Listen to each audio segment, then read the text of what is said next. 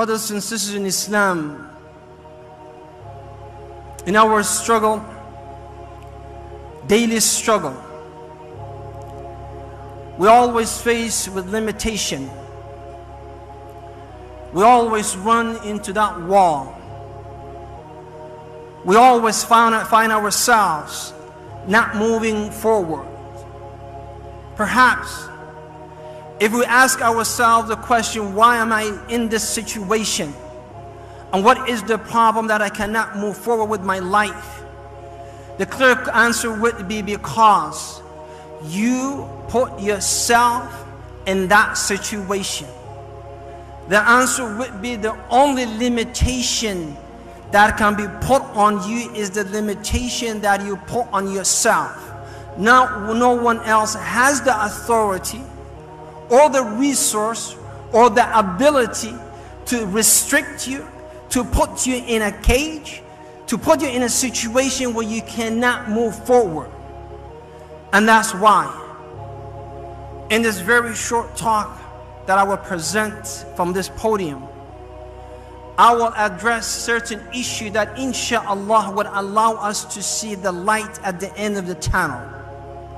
Therefore, I would need your attention and I would need your imagination because me talking from here only addressing a crowd that is absent-minded would not serve the purpose.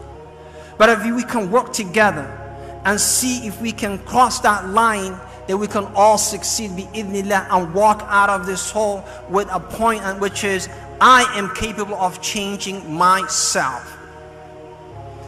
High aspiration Every single Muslim, every single human being should live under that banner, high aspiration. I want to move forward with my life. See, all of you sitting here, whether you're Amir or Ma'mur, whether you are the man of authority or someone has authority over you, whether you work for someone or you work for yourself and others work for you, others work for you, whether you're in this situation because you want to be here or someone forced you here to be here, whether you like it or not, there is no limitation except the limitation that you have over yourself. Make that clear. And if you look in the lifestyle of Muslims nowadays, they always say, I want to be a humble Muslim. I want to live with the minimum. I want to live with what that is enough for me and my family for the day. I want to live in a simple house. I want to drive a simple car. But this is not what Islam teaches. No.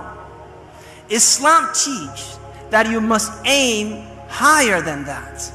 Islam teaches that if you're driving a certain vehicle, you better upgrade yourself. See, we have new Muslims who accepted Islam.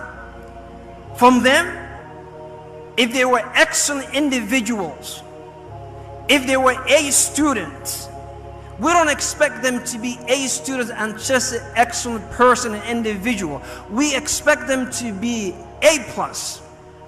We expect them to excel and Islam allows you that. If you look at the lives of the messengers of Allah subhanahu wa ta'ala, you will see them always aiming high.